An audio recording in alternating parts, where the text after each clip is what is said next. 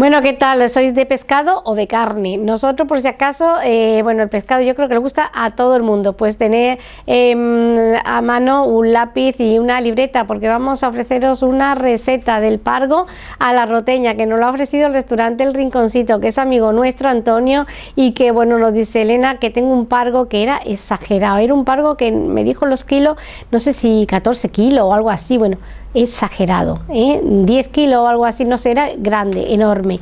Un pargo precioso, que es un pescado de roca y que está delicioso, con poco está sabrosísimo, blanco, que bueno, muy exquisito y no necesita mucho preparativo, es fácil para que lo hagamos en casa, así que hemos pensado, pues mira, si tenemos eh, un invitado, queremos algo especial en casa para estos días y tal, pues mira qué buena receta se puede hacer con cualquier otro pescado. Vamos al rinconcito, que vamos a ver cómo se prepara y cómo se elabora este plato, que es muy sencillo, en breves minutos sí que lo tenemos. Y claro, por supuesto, luego tenemos que poner un poquito la guinda del pastel con los pasteles aquí también del pastelero, que fue José, que lo hizo muy bien, y Vicente el cocinero. Vamos con este equipo del rinconcito a ver esta receta. Bueno, ya con este tiempo que todavía es casi veraniego, pero que estamos en otoño, se aproxima también la fiesta de los santos y muchas cosas eh, bonitas que tenemos en tradición también eh, gastronomía. Por eso hoy hemos querido venir al restaurante El Rinconcito, que es un sitio muy bonito aquí por la zona del Rosario y bueno, que se cocina aquí una cocina mediterránea, exquisita, maravillosa y que bueno, por eso su fama y su éxito. Y es que realmente donde se pueda comer bien, ahí hay que ir a disfrutarlo. Hablamos con su propietario, que es el señor Antonio que nos va hoy a definir un poquito qué tipo de cocina y además vamos a ver cocinar algo increíble en vivo y en directo. ¿Qué tal, Antonio? Buenas tardes. Hola, buenas tardes, Elena, ¿qué tal? Bueno, yo creo que uno de los éxitos más importantes, aparte de muchas cosas, son muchas las cosas que dan el éxito a un restaurante, pero sobre todo eh, la cocina diríamos que es el corazón y el alma mate ya de lo que es un restaurante, ¿no? Correcto, lo importante es la cocina y sobre todo los productos frescos y de temporada que, que vamos introduciendo ahora ya que se ha ido el verano, vamos poniendo cositas nuevas en la carta y lo que vamos a cocinar hoy es un pargo. Los pargos son pescados de roca y que ahora ya en esta época más de invierno empezamos a verlo por aquí por Marbella y te vamos a enseñar ahora un buen ejemplar que nos han traído justamente ayer y que lo tenemos ahí pendiente para limpiar y vamos a ver todo el proceso desde que se limpia el pescado hasta que lo cocinamos. El plato se llama pargo a la roteña.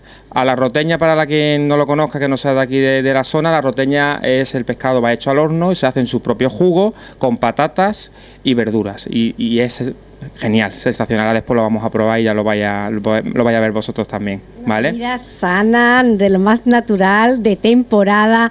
Y es que este restaurante, tenemos que decir que parece un barco, está pegado al mar y aquí disfrutamos como si estuviéramos de crucero prácticamente, porque es una maravilla. Quizás en los sitios así de costa lo que más pide el cliente es pescado, ¿no? Pues tener muchas cosas, pero quizá el pescado es por excelencia el producto más tradicional de los restaurantes que está ahí al lado de la costa. Sí, así es. Eh, nuestros platos estrellas son los pescados, las paellas, pero además nosotros también tenemos aquí muy buenas pastas y pizzas caseras. Entonces, pues tenemos un poquito de todo, nos adaptamos a la clientela que tenemos, que es muy variada, desde alemanes, ingleses y españoles. Entonces, pues tenemos una carta bastante extensa y ya te digo, desde pescado hasta pasta, pues aquí pueden disfrutar todos nuestros clientes pues de todo protagonista va a ser el pargo, así que ¿qué te parece que si empezamos por la primera parte de elaboración y luego todo lo demás? Sí, os voy a dejar con Vicente y con José María, que son nuestros jefes de cocina, y los dos van explicando paso a paso eh, todo lo que es la elaboración del plato, ¿vale? Gracias, Antonio. Vamos entonces a mirar y a ver si aprendemos un poco también. Si no, ya sabéis, para quitarnos de limpiar el pescado, de tenerlo que ya pescar, limpiarlo, elaborarlo, pues mejor nos venimos al rinconcito y ya veremos cómo lo degustamos. Vamos al proceso. Bueno, qué ejemplar que vemos aquí de Pargo. Esto es una maravilla, pero una maravilla. Bueno, Vicente, ¿qué, qué tal? Cuéntenos, usted aquí de la costa, de siempre, toda la vida, y acostumbrado mucho a tratar con estos animales marinos, ¿no? Pues sí. Totalmente, ¿no? Totalmente. ¿qué es lo que le está haciendo a este pe, a este pedazo de pe? Le estamos quitando el filete para sacarlo. y después son las escamitas que ya lo hemos visto limpiar un poquito también la escama. ¿Y qué tal? Eh, eh, ¿Es agradecido este pez a la hora de, limpiarlo y prepararlo? Porque uno, hay... Uno de, los mejores pescados para, para este proceso. Agradece todo lo que se le haga. Todo lo que se le haga. Eh, luego eh, lleva mucho tiempo también quitarle todo lo que es la espina, porque esto, claro, el cliente luego una vez que lo tiene en el plato, pues cuanto, claro, que no tenga espina, que, que permanezca pues todo su sabor y todo su proceso tal cual. Y lo saboreemos bien, ¿no? Sí, cuando esto sale ya, eso es una maravilla de ¿Cuál es el siguiente paso, Vicente? Pues vamos a quitar la cara de filete, cortamos en raciones y lo vamos haciendo proceso allí a, la Vamos a, proteína. ver- vamos a dejarle trabajar entonces, Vicente, gracias.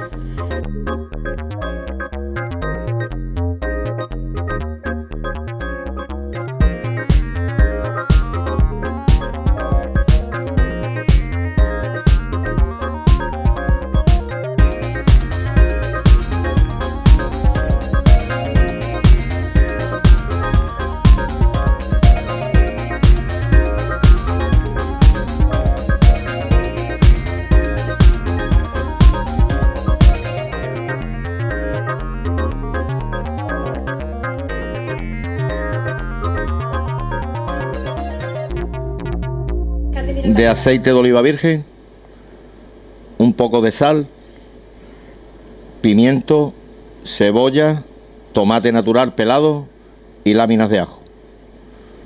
Hemos marcado el filete, lo hemos dejado como veis crudo por dentro para que suelte el jugo en, en lo que es la, verdura. Solamente para que no se, se deshaga el pescado. Bueno, hemos visto lo profesional de Vicente, con qué, de verdad, con qué destreza ha limpiado el pescado y bueno, pues en estos filetes que vemos cómo ha quedado ya marcado y ahora vamos eh, a esos ingredientes que acompañarán al pescado, por eso su nombre, ¿no, Vicente? Que lleva este Cebolla, salteado. tomate, ajo y pimiento. Una cosa todo natural. No, no hay nada aquí de químico. sofrito un poquito en aceite de oliva, puro de oliva. con aceite puro virgen de oliva, un poquito de sal y nada más. Y ahora veis ya lo siguiente que, que lleva esto, que es muy simple, es un pescado muy simple, muy simple. Que es como mejor sale la comida, contra más simple mejor sale. Bien, el pescado, metemos el pescado en la verdura para que vaya soltando su jugo. Le metemos un poquito. Qué bien me voy a quedar yo cuando le haga esto a mi madre, que va a decir que bueno, qué orgullosa estoy de mi hija. Voy a ver cómo me sale luego.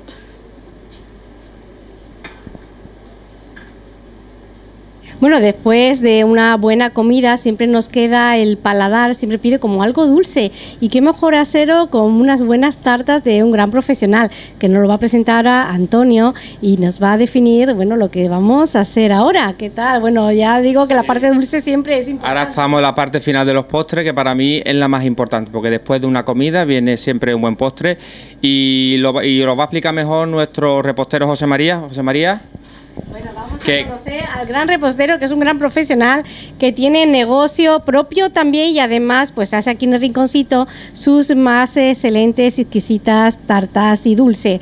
Bueno, ¿qué tal, José? Póngase usted aquí en este ladito para que podamos ver las Estupendo. tartas. Pues nada, muy bien. ¿Eh? ¿Qué tal? Eh, bueno, ¿usted lleva cuántos años lleva ya trabajando lo que es la repostería? Mm, La repostería no llevo mucho tiempo, ¿eh? La cocina sí, bastante, pero la repostería no.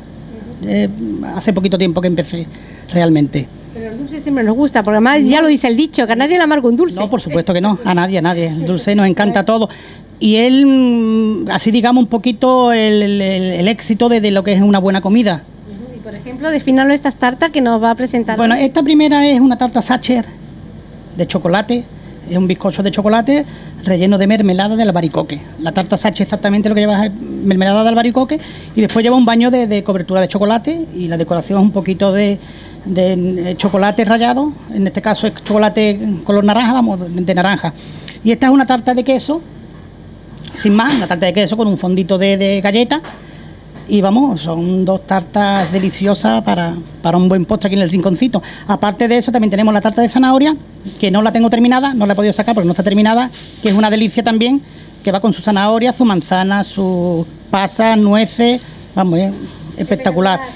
Además ya los colores también para Halloween, que ya tenemos aquí los meses de los santos. Y para esa fecha, ¿qué es lo que más se trabaja también? ¿Qué es lo que demanda? Bueno, esa fecha, lo, lo que cambia prácticamente es la decoración. Que claro, ya le metemos un poquito de decoración de, de cosas de Halloween, de un- algo así terrorífico. El color también puede cambiar un poquito, se, se tira más lo negro, un poquito lo naranja. Son ya colores más o menos. Sí, exacto, lo morado. Pero vamos, prácticamente lo que es el, el- el corazón del pastel es el mismo. Cambia solamente la decoración, el exterior, vamos. Ah, pues nada, pues enhorabuena, porque eso está delicioso que lo probaremos en breve, ¿no? Pues sí, claro, cuando queráis. Gracias. Bueno, pues estamos en el restaurante porque ahora toca degustar esta exquisitez. Eh, vamos a hablar con Antonio, a ver, eh, que es el experto, que sabe cómo salen todos los platos aquí en su casa, cómo ha salido el resultado final de este pescado. ¿Qué tal, Antonio? Pues directamente del horno a la mesa, no hay nada más que ver el cómo nos ha quedado el pescado para no, no tiene más, más, más que hablar, directamente a- al plato y lo vamos a acompañar, Elena, que es muy importante con que se acompaña el pescado con un buen vino, ¿vale? En este caso hemos elegido un vino blanco. Ponerlo aquí para que Sí. también, ¿no? Si no estorba. Hemos elegido un vino blanco, un verdejo denominación de origen rueda. Este vino blanco, mm, el maridaje es perfecto con, con el pescado, ¿vale? Entonces, bien frío es espectacular. Entonces vamos a dejar que, que Miguel, nuestro camarero, pues nos sirva el pescado y lo probemos. ¿Te parece? Pues eh, claro que sí, antes que se nos enfríe. Bueno, parece delicioso y huele, que eso sí no se lo podemos transmitir a nuestros telespectadores, este aroma, este olor de pescado fresco, fresco, recién salido prácticamente del mar. Y nosotros ahora, pues, a platarlo y a degustarlo. Gracias, Antonio, buen provecho. Pues vamos, manos a la obra.